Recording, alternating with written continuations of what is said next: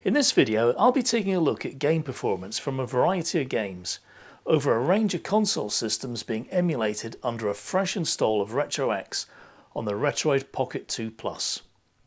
The point of this video is not to impress you with how well or poorly particular systems perform under RetroX. The point is to show you how they perform given that I haven't installed any other emulators, haven't installed RetroArch or any of its cores. And RetroX has literally just been installed and configured everything for me. And before we get started, I want to apologise for the lack of sound in the first few minutes. I turned the audio down but didn't realise I had turned it down so far it was actually off. Gameplay audio starts partway through the Dreamcast section. So let's get started. I'll start with what is probably the easiest system to emulate, the Atari 2600.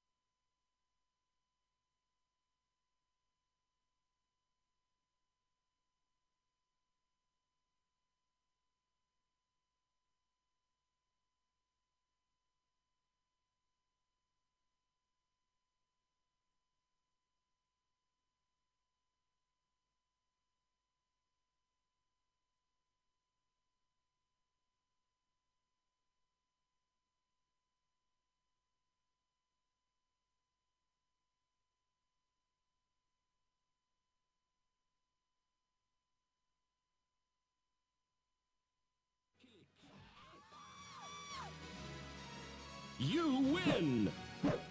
長いものには巻かれろってね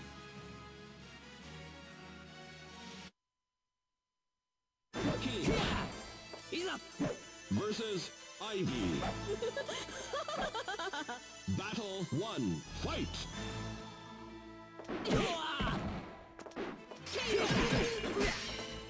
い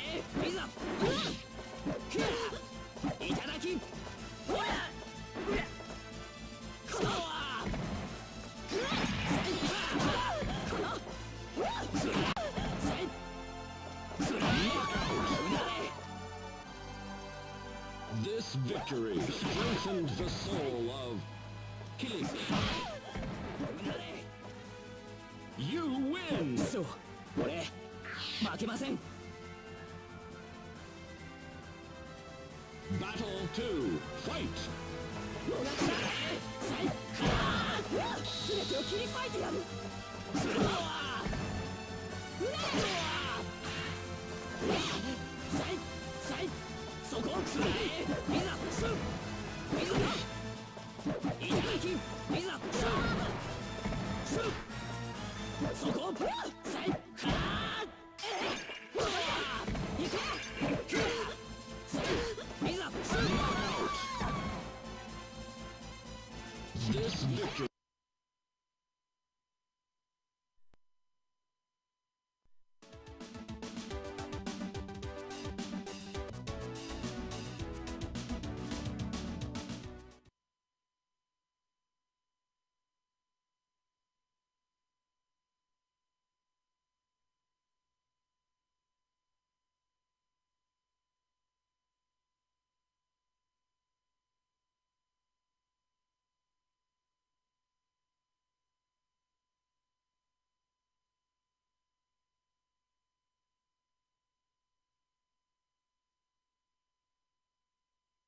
この戦いには絶対に勝つ。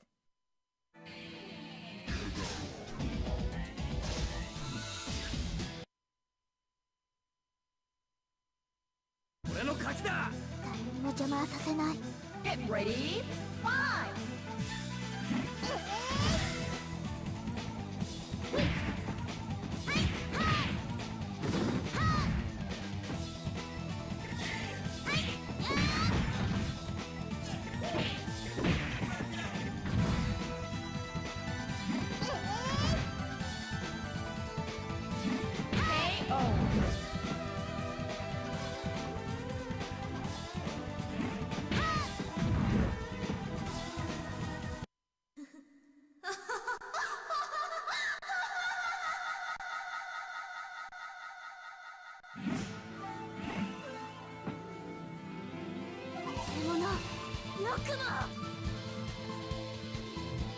Get ready,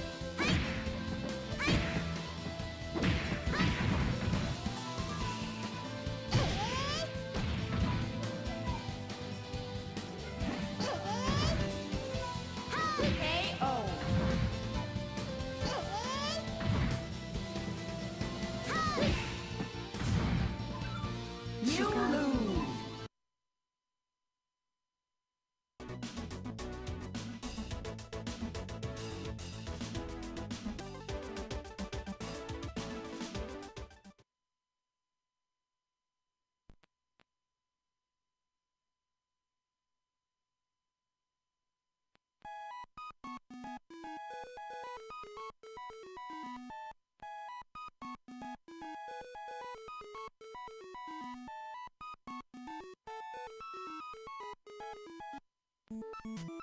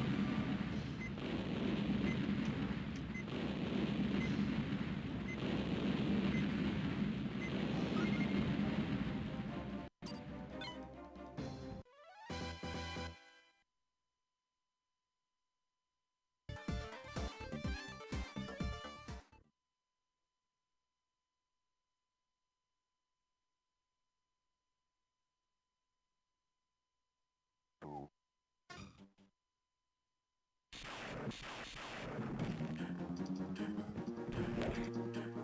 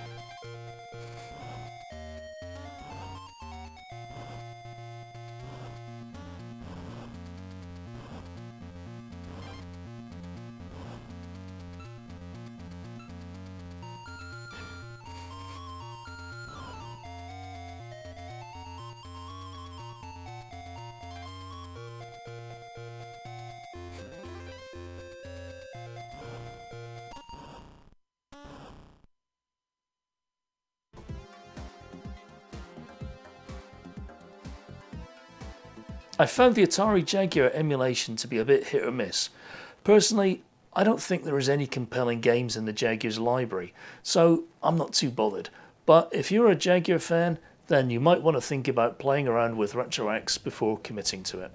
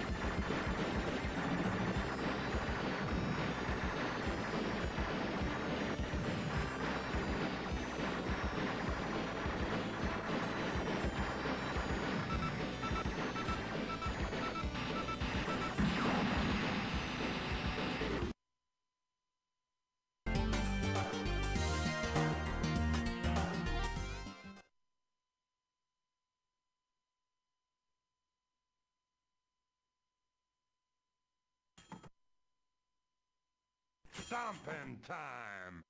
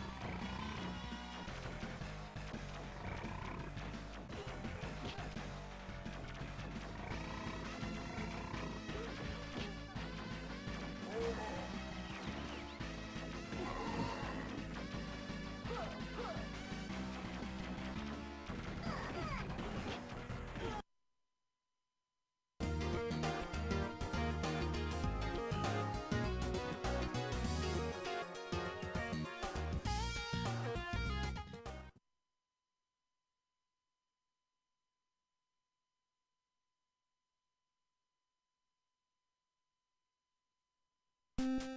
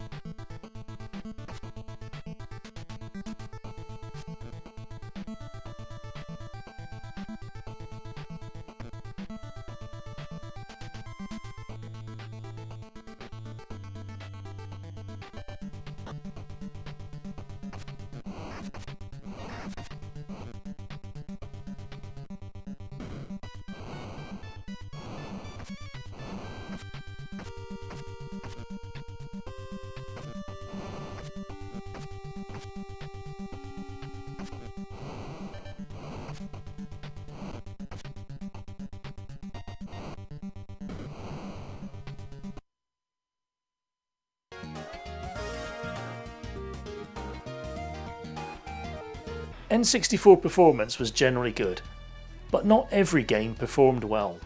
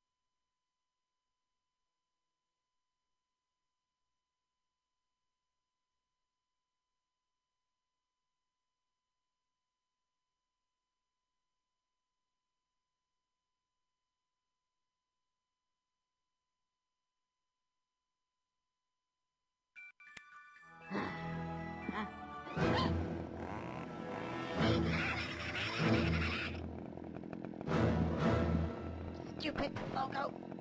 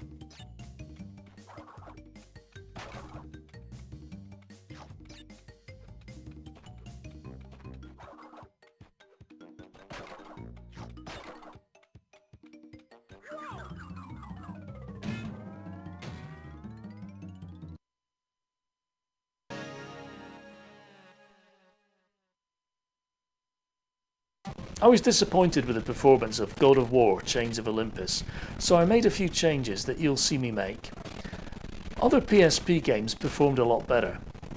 My changes didn't make a massive improvement, but the options are there to play around with to get better performance.